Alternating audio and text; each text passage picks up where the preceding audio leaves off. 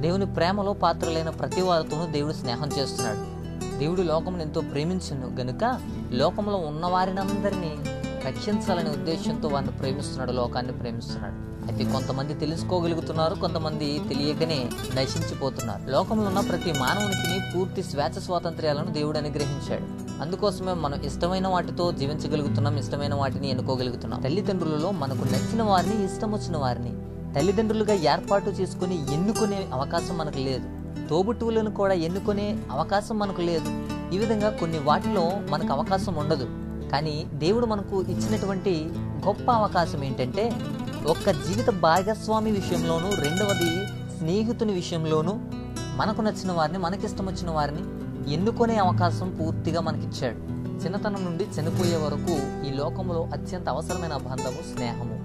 ఇది ఎంతో అమోఘమైనది విలువైనది ఘనమైనది. ఒక మనుషుని యొక్క స్థితి అర్థం అవ్వాలి అంటే స్నేహితుని యొక్క స్వభావాన్ని బట్టి మనిషి స్థితిగతులు అర్థమవుతాయి. మంచివాడు కావాలన్నా చెడువాడు కావాలన్నా గొప్పవాడు కావాలన్నా నాశనం అవ్వాలన్నా ఏమైనప్పటికీ అది స్నేహాన్ని బట్టి ఉంటుందని స్నేహితులను బట్టి మారుతుందని మనకు తెలిసిన విషయమే. పొరుగువారి స్నేహం మంచిదేనా?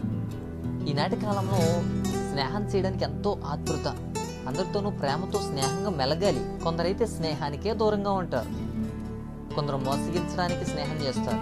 కొందరు చెరపటానికి అప్పులు ఇప్పించమని కోరటానికి మన దగ్గర ఏముందో తెలుసుకోవడానికి దొంగలించడానికి భార్య భర్తల మీద లేదా ఇద్దరు వ్యక్తుల మధ్య ఇద్దరు స్నేహితుల మధ్య చిచ్చు పెట్టడానికి చెడు మాటలు పలకటానికి కొందరు గుట్టు మొత్తం వారి మనసులోకి మన విషయాలన్నీ తెలుసుకొని రికార్డింగ్ చేసుకొని నిన్ను చులకనగా చూసి నీ మంచితనాన్ని అంతటిని వారు స్వార్థానికి ఉపయోగించుకొని వారికి ఏది అవసరమో దాన్ని ఒక్కొక్కటిగా నీ నుండి తీసుకొని నిన్ను మోసగించి అవసరత తీరిన తర్వాత నీ గురించి చెడ్డగా చెప్పి నీకు విరోధంగా మాట్లాడతారు మూర్ఖులతో స్నేహం చేయకూడదు.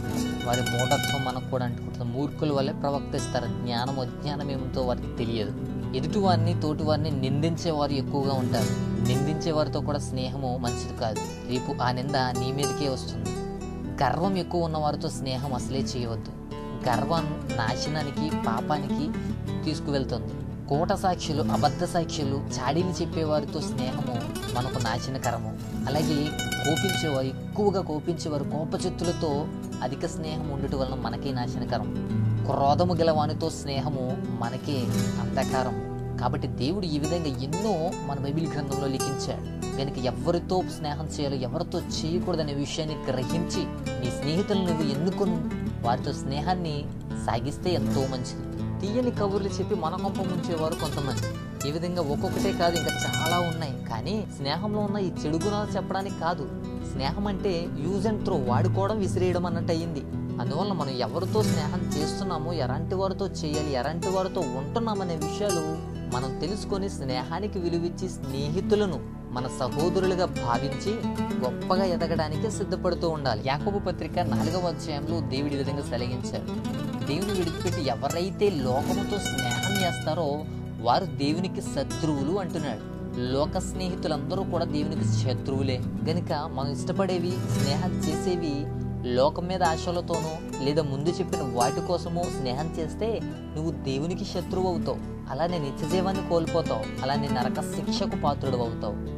కానీ సామెతల గ్రంథం పదిహేడవ అధ్యాయంలో స్నేహితుడు ఏ విధంగా ఉండాలి అనే విషయాన్ని ఎంతో చక్కగా వర్ణించాడు. నిజమైన స్నేహితుడు విడువక ఉండునట్టు వాడి దుద్దిలో నీ సహోదరుడై ఉండునని సామెత మనం చదువుకోగలం. ఎల్లవేళలా నిన్ను కాచుకొని ఆనందంలో దుఃఖంలో ప్రతి వాటి యందు నీతో ఉండి నిన్ను మంచిలోనికి నడిపించేవాడే నిజమైన స్నేహితుడు. అటివాడు నీ సహోదరుని వల్లే ఉంటాడు. ఒకవేళ నీ సహోదరునితో విభేదం వచ్చినా నీ స్నేహితుడు జీవం పోస్తాడు. కాబట్టి సహోదరుని కంటే మంచి విలువ కలిగిన బంధం స్నేహబంధం.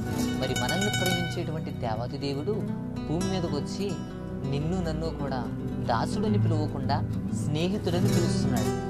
ఆయన దేవునిగా ఉన్న తండ్రిగా ఉన్న కాపరిగా సంరక్షకుడిగా రక్షకుడిగా ఉన్నప్పటికీ నిన్ను నన్ను కూడా ఆయన కుమారులుగా చేర్చుకుని స్నేహం చేయడానికి స్నేహితుడా అని పిలుస్తున్నాడు. లోకస్తులతో స్నేహం చేయుట కంటే దేవునితో చేసే స్నేహము ఎంతో ఆనందకరము ఆశీర్వాదకరము మోక్ష రాజ్యానికి అదే మార్గము. దేవుడు స్నేహితుడా అని పిలుస్తున్నప్పుడు నువ్వు రియాక్ట్ అవ్వగలుగుతున్నావా? స్పందించగలుగుతున్నావా? దేవుని ప్రేమలో దేవుని స్నేహంలో నీవు స్పందించి దేవునితో స్నేహం చేయగలవా? దేవుని యందు ఎంతో నమ్మిక కలిగి విశ్వాసం కలిగిన అబ్రహాము దేవునితో స్నేహం చేశాడు. కాబట్టి విశ్వాసులకు తండ్రి అయ్యాడు. దేవుని కుడిపాసమును కూర్చోవడానికి అవకాశం లభించింది. అలానే స్నేహితులని నిన్ను నన్ను కూడా పిలుస్తున్నాడు. ఈ అవకాశం మనకు కూడా ఇస్తాడు దేవుడు దేవునితో ఉండడానికి నిత్య జీవం పొందడానికి. మరి దేవుని స్నేహానికి విలువిస్తున్నావా? దేవుని స్నేహానికి రియాక్ట్ అవ్వగలుగుతున్నావా? స్పందించగలుగుతున్నావా? దేవునితో స్నేహం చేస్తూ దేవుని యొక్క స్నేహానికి విలువిస్తూ అప్పుడు నీ స్నేహితులు నీ పొరుగువారిని అందరితో నువ్వు మంచి స్నేహాన్ని పొందుకోగలుగుతావు. వారికి కూడా నువ్వు మంచి స్నేహితుడిగా ఉంటావు. తల్లిదండ్రులకు విలువిచ్చి ఫాదర్స్ డే మదర్స్ డే లాగానే స్నేహబంధానికి విలువిచ్చి స్నేహితుల రోజును కూడా ఏర్పాటు చేశారు father's day mother's day lover's day friendship day ఆ ఒక్కరోజు మాత్రమేనా తల్లిదండ్రులు?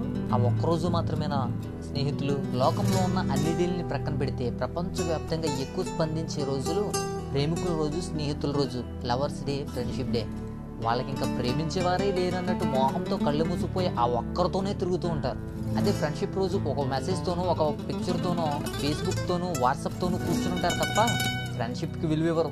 ఆ ఒక్క రోజైనా ఫ్రెండ్ ఆ ఒక్క రోజైనా నీకు నాన్న ఆ ఒక్క రోజైనా నీకు అమ్మ నిజమైన స్నేహితుడు విడువక ప్రేమిస్తాడు. ఆ విధంగానే వేసి నిన్ను కూడా ప్రేమిస్తున్నాడు. కనుక నిన్ను కూడా స్నేహితుడా అని పిలుస్తున్నాడు. మరి నువ్వు ఎలా స్పందిస్తావు? ఏసయ్య ఒక్కడితోనే స్నేహం చేయండి మిగతా వాళ్ళని విడిచిపెట్టేయండి నన్ను ఉద్దేశం కాదు. కానీ లోకాశలతో లోకంతో స్నేహం చేస్తే దేవునికే శత్రువు అవుతావు. అదే దేవునితో స్నేహం చేస్తే నీ పరిస్థితి ఏ విధంగా ఉంటుందో నువ్వే ఆలోచించు. బైబిల్లో కూడా గొప్ప గొప్ప స్నేహితులు లేకపోలేదు. యోబు గ్రంథంలో గొప్ప స్నేహం కనబడుతుంది.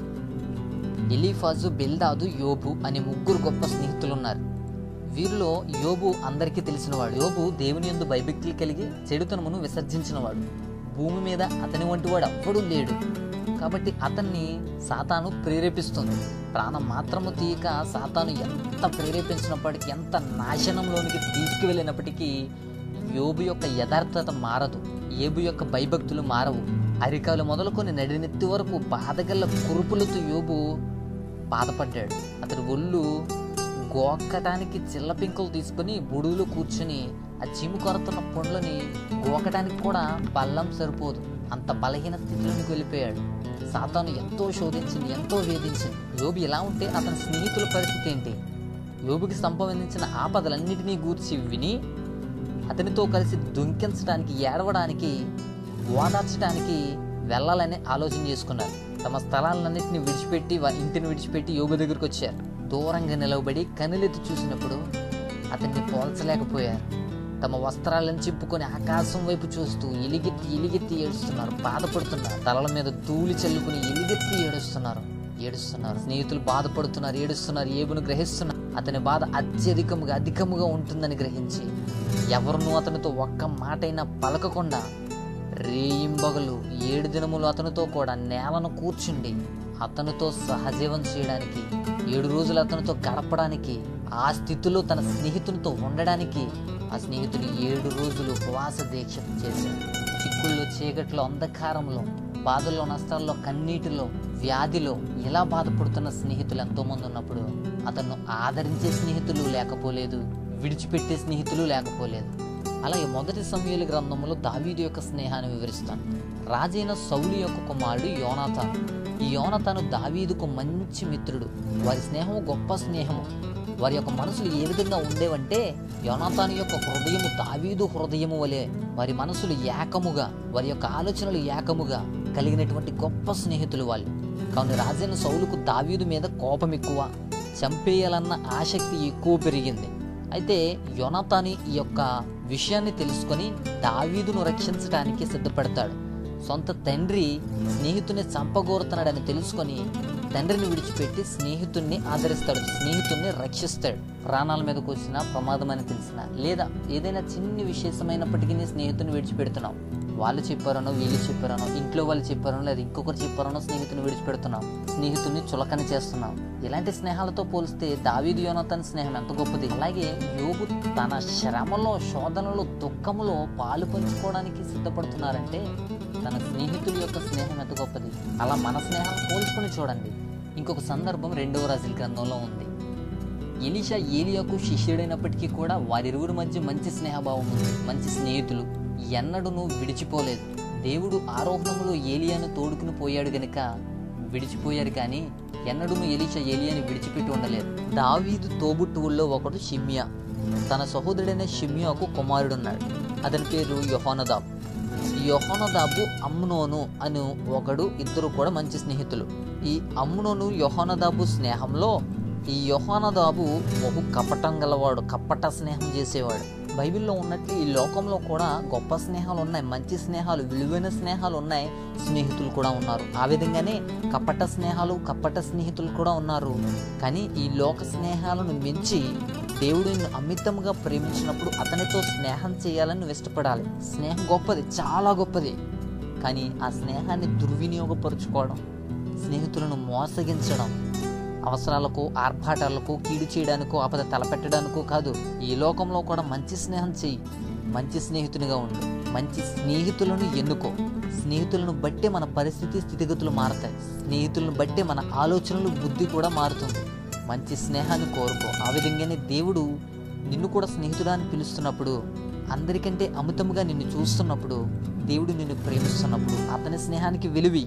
దేవుని స్నేహంలో విలువ కలిగిన వాడిలా బ్రతుకు. మంచి స్నేహితునిగా మంచి స్నేహం కలిగి జీవించు. కానీ లోకంతో చెడు స్నేహాలు కలిగి ఉన్నప్పుడు లోకంతో స్నేహం కలిగి ఉన్నప్పుడు దేవునికి శత్రువు అవుతావని గుర్తించుకో. దేవునితో స్నేహం చేయి కొందరితోనూ అందరితోనూ పంచుకోలేని విషయాలన్నీ స్నేహితునితో పంచుకోగలవు. కానీ సమస్తం ఎరిగిన దేవునితో పంచుకోలేవా? దేవుడు నిన్ను స్నేహితుడా అని పిలుస్తున్నాడు. స్పందించు. దేవుని ప్రేమలో ఆయన స్నేహంలో ముందుకు సాగిపోదాం. అట్టి భాగ్యం మనందరికి ఇచ్చినగాక. ఆమె